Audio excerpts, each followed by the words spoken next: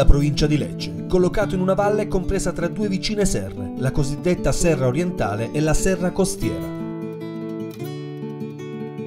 Il suo territorio, situato sul lato occidentale della costa del Salento, è tratteggiato da lievi alture, il cui punto più alto è conosciuto come Madonna dell'Alto, per via della presenza di un'antica cappella eretta dai monaci basiliani nel X secolo.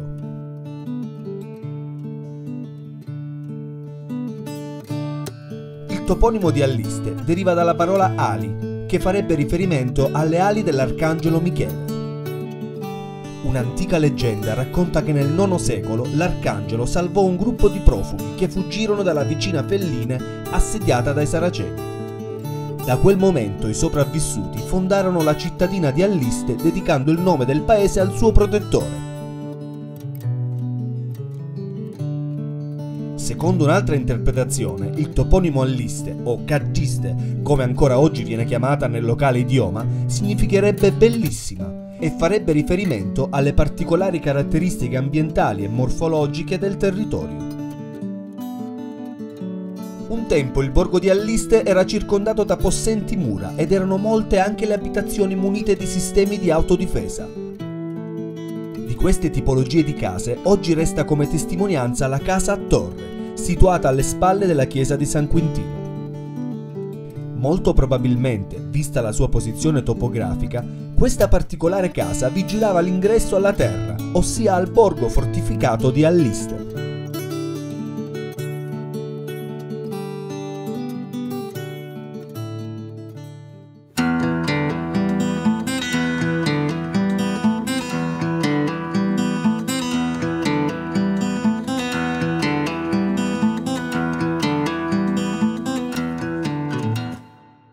Considerato oggi il centro pulsante e vitale di Alliste, Piazza San Quintino prende il nome dall'omonima e bellissima chiesa che si affaccia su di essa. Completamente in linea con le esigenze del nuovo assetto urbanistico e viario, rappresenta uno dei punti di aggregazione sociale e culturale di Alliste. L'ampio spazio pavimentato che si affaccia di fronte alla chiesa madre è circondato da alberelli e panchine che creano il luogo ideale per una passeggiata o per una sosta, lontano dai pericoli del traffico stradale.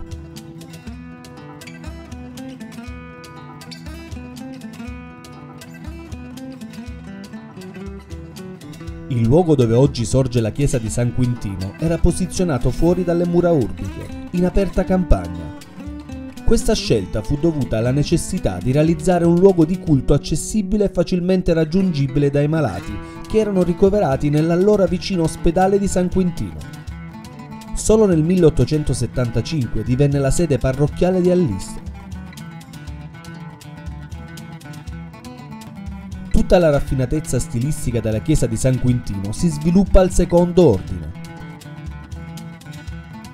Qui elementi decorativi misti fanno da corollario allo sfarzoso frontone, al centro del quale è posizionata una nicchia con il dipinto del patrono San Quintino.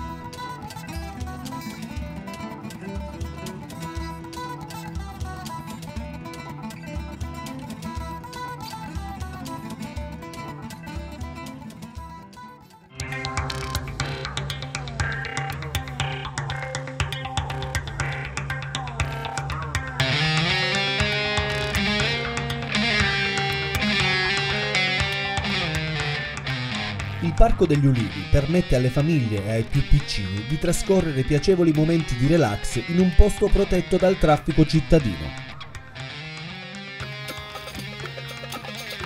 Il parco rappresenta un omaggio al più importante simbolo salentino, l'albero di ulivo. Al pari della vite, l'ulivo era una delle piante conosciute in Puglia fin dal VII secolo a.C. La numerosa presenza di questa stupenda specie vegetale è dovuta anche ai monaci basiliani, che nei secoli acquisirono possesso di vaste aree territoriali del Salento, profondendo un fortissimo stimolo alla coltivazione dell'ulivo.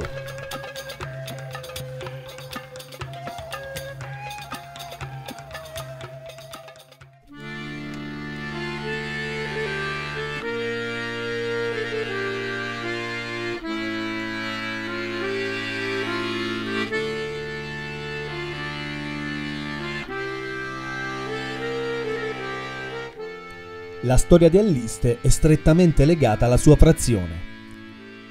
Felline è un piccolo e grazioso borgo del Salento che conserva ancora immutato nel tempo il fascino ancestrale del suo passato contadino. Felline molto probabilmente è di origine greca o messapica, come testimoniato da molti indizi. L'etimologia del suo nome potrebbe derivare dal greco feline, che significa canneto, luogo lacustre. Per la presenza di questi luoghi paludosi era facile in epoca messapica reperire argilla di pregevole qualità ed è proprio per questo che un'altra teoria vede il nome di Felline tradotto con il termine greco figline, cioè luogo di produzione della ceramica. Il paese si sviluppa integralmente nel borgo antico, dove la tranquillità e il silenzio sembrano regnare sovrani.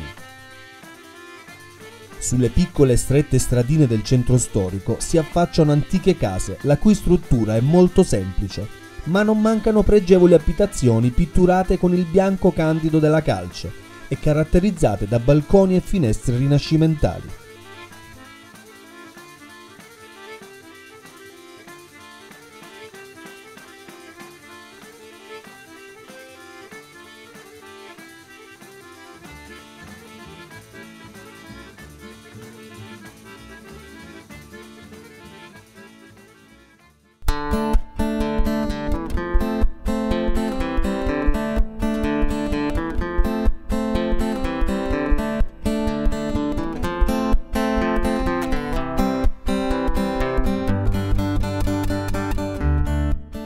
Una delle piazze di Felline più suggestive è Piazza Caduti, che rappresenta la sintesi architettonica dell'intero borgo antico.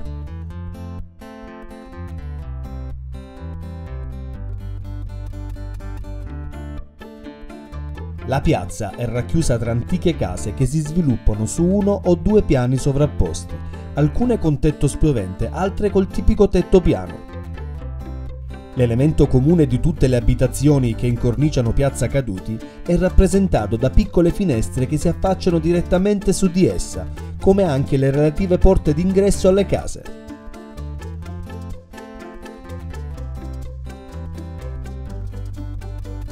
Dove sono presenti, i balconcini al primo piano sono sobri e caratterizzati da una grezza ringhiera in carparo, il più delle volte lasciata a faccia vista.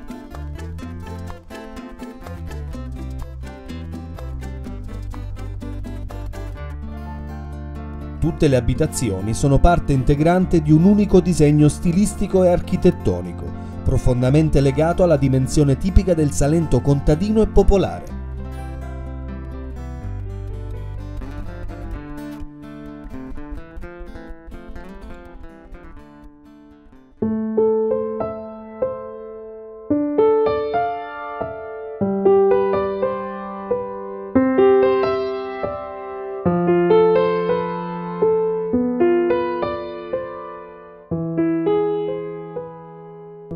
Castello di Felline era situato sul versante orientale dell'antica cinta muraria e fu eretto per volontà della famiglia Bonsecolo nel XII secolo, divenendo l'avamposto di difesa della vicina città messapica di Ugento.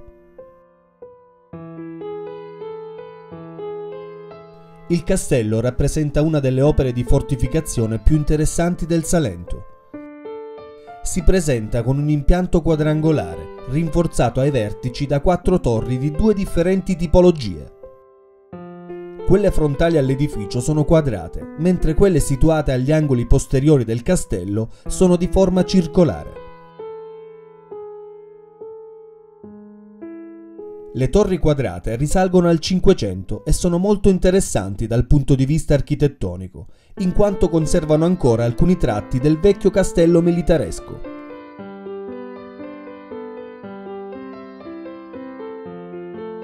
Il prospetto frontale del castello baronale è impreziosito dalla presenza di una lunga e continua balconata, con balaustra in carparo realizzata dal Pignatelli.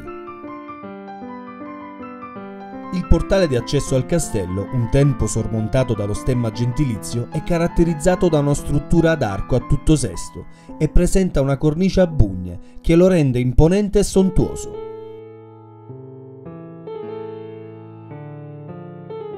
La balconata, situata al primo piano dell'edificio, fu l'elemento architettonico che permise al castello di Felline di assumere le sembianze di un palazzo gentilizio, conferendo a tutto l'immobile un aspetto signorile, ma senza perdere le connotazioni di un impianto militaresco.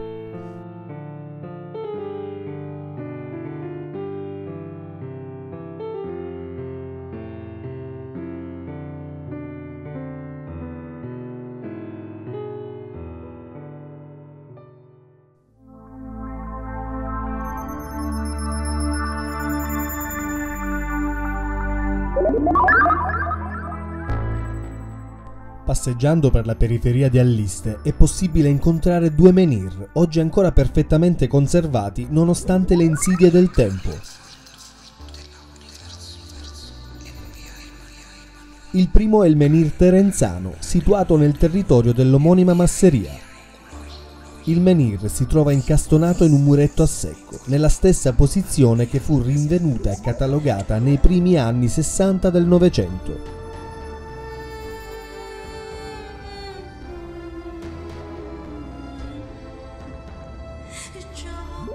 Un altro menhir interessantissimo è il menhir ninfeo. Esso è a base rettangolare con il lato lungo posto in direzione nord-sud, avallando la teoria secondo cui un tempo i megaliti venivano utilizzati anche come delle bussole terrestri, oltre che come luoghi di culto. La particolarità di questo menhir è l'incisione del numero 30 sulla sua facciata ovest, il cui significato è ad oggi incomprensibile, anche se molto probabilmente è dovuto all'intervento dell'uomo contemporaneo per qualche fine pratico. Il menhir è chiamato così per la presenza della grotta ninfeo nelle immediate vicinanze. La grotta è completamente immersa in una vegetazione lussureggiante ed è intitolata fin dai tempi dei Messapi alle ninfe, addette alla protezione di tutte le acque dolci della terra. Infatti il ninfeo di Felline è situato a pochi metri dalle propaggini del terreno da dove ancora oggi in alcuni periodi sgorga acqua sorgiva.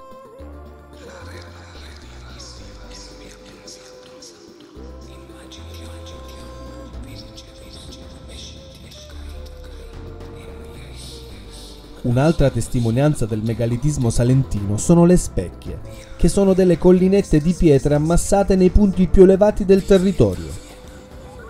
Molti ricercatori ritengono che le specchie fossero delle tombe monumentali erette in onore di un capo o un leader. Per questo motivo molte specchie del Salento sono state distrutte allo scopo di disseppellire ipotetici tesori da essa ricoperti. Questa era la cosiddetta acchiatura.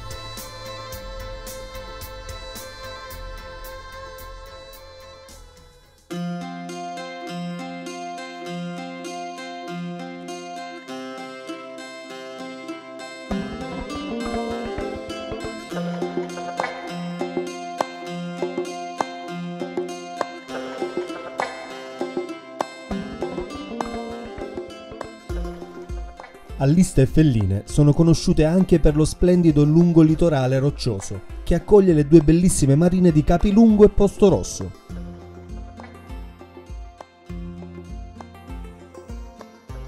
Posto Rosso rappresenta una perla del litorale ionico-salentino ed è chiamata così probabilmente per la tipica colorazione rossastra di alcuni punti della scogliera.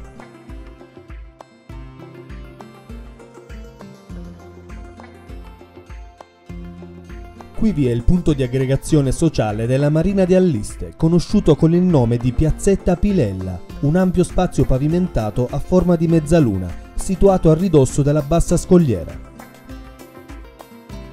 Da Piazzetta Pilella parte un lungo e suggestivo camminamento, lungo circa 2 km, che collega Posto Rosso a Capilungo, l'altra marina di Alliste.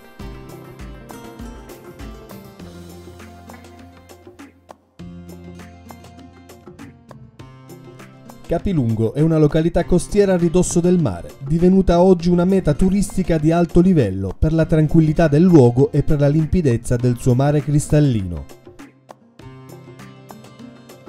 La costa è morfologicamente molto frastagliata e bassa e consente un facile accesso al mare. Qui è possibile cimentarsi nello snorkeling, grazie alla bellezza dei fondali rocciosi e alla particolare limpidezza delle acque.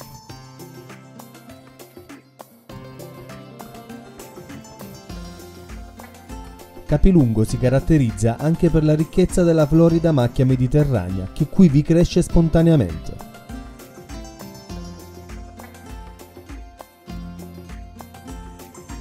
Tutto questo permette ai visitatori della Marina di Alliste di godere di uno splendido panorama, assaporando il profumo della salsedine mentre si è immersi tra la vegetazione della scogliera e il blu del mare cristallino.